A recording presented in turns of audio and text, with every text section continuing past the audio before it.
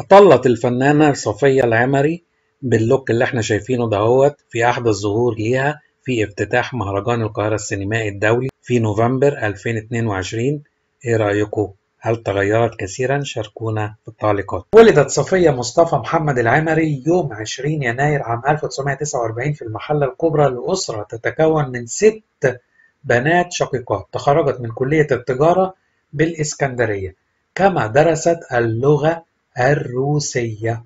بدأت حياتها المهنية كمترجمة في المؤتمرات الدولية وتزوجت العمري من الفنان جلال عيسى الذي أنجبت منه ولدين هما وليد وأحمد ويعملان حاليا في الولايات المتحدة الأمريكية. ولكن انتهى هذا الزواج والذي اعتبرته تجربة فاشلة لم ترغب في تكرارها مرة أخرى وانتهى بالانفصال. ده الفنان جلال عيسى فنان معروف طبعا كان الزوج الوحيد لصفية العمري ودي صورة نادرة ليهم مع بعض وما اتجوزتش من بعده. أنجبت منه ولدين وليد وأحمد بيعملوا حاليا في أمريكا. وهو توفي مؤخرا من حوالي سنة تقريبا. الله يرحمه.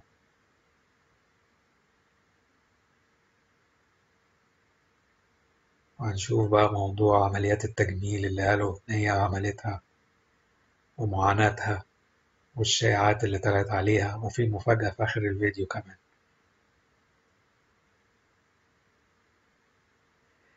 لم يكن التمثيل هو هدف صفية العمري في طفولتها بل كان حلمها الكبير هو أن تصبح راقصة باليه أو عازفة موسيقى حتى نجحت في إحدى المسابقات التلفزيونية للعمل كمقدمة برامج.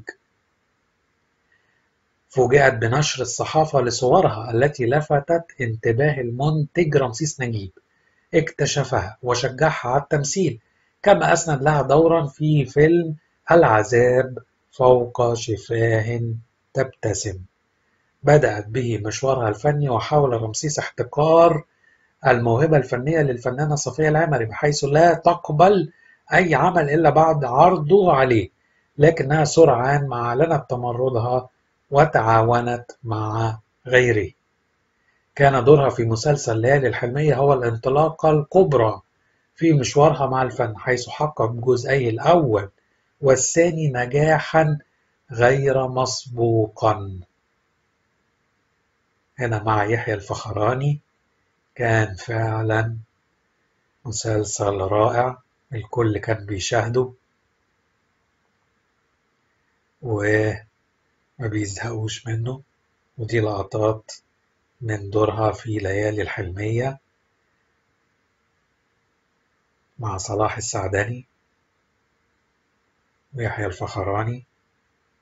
كل الأبطال كانوا عمالقة في هذا المسلسل الجميل. من أبرز أعمالها السينمائية الأخرى على باب الوزير والبيه البواب وعتبة الستات والحجر الداير والحرافيش والمهاجر والمصير والمواطن مصري. أكدت صفية أنها تحب فيلم البيه البواب لأن دمه خفيف وبه ذكريات جميلة. قائلة أصابع أحمد زكي معلمة على خدي حتى الآن ومثلت معاه فيلم الأيام أيضا. هنا هو بيضربها بالقلم بعد أن اكتشف اللي حصل. وادي فيلم البيه البواب أنا بي أنا بي أنا بي أنا بي. كانت صفية العمري قد أصيبت بمرض العصب السابع مما اضطرها لتلقي جلسات علاج كهربائي ولكن إهمال الطبيب الذي أعطاها جرعات زائدة تسبب لها في تشوه بالوجه. هنا بعد الجلسات حصل لها تشوه بالوجه والناس ظلموها وطلعوا إشاعات إن هي عملت عملية تجميل. تم اختيارها كسفيرة للنوايا الحسنة بالأمم المتحدة عام 1997 ولكنها اعتذرت عن منصبها عام 2006 احتجاجا على حرب لبنان. اختاروها سفيرة للنوايا الحسنة. لكنها اعتذرت. وعن شائعات عمليات التجميل تقول صفية العمري في البداية كنت أحزن عندما أسمعها ولكن مع الوقت أعتدت عليها ولم أعد أهتم بها خاصة أني مررت بتجربة مرضية صعبة جدا.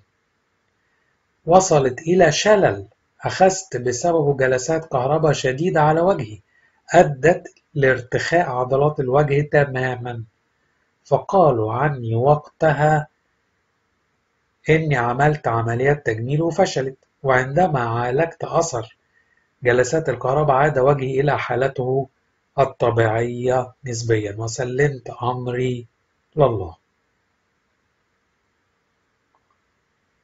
طبعا معاناة شديدة يبقى عندها مرض والناس يقولوا دي بتعمل عمليات تجميل. الحمد لله ربنا عدى الفترة الصعبة دي عليها. هي قوية الإرادة طبعا معروفة.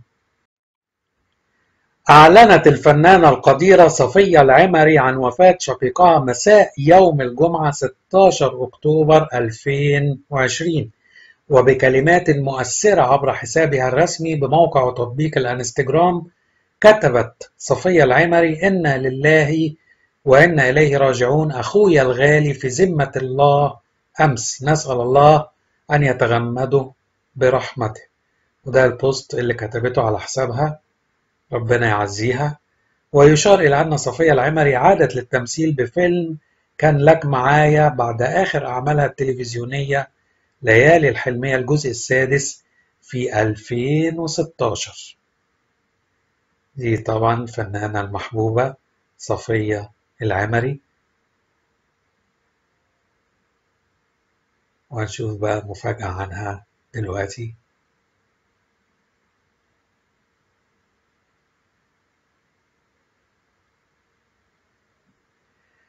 حيث أطلق المصريون لقب عيون صفية العمري على السيارة ميتسوبيشي لانسر موديل 91 من كتر جمال عيونها وعدم تكرارها أطلقوا لقب عيون صفية على العربية ديت اللي هي ميتسوبيشي موديل 91 لو أعجبكم الفيديو ياريت تشتركوا في القناة وتفعلوا الجرس ليصلكم كل جديد وشاركونا بالتعليقات.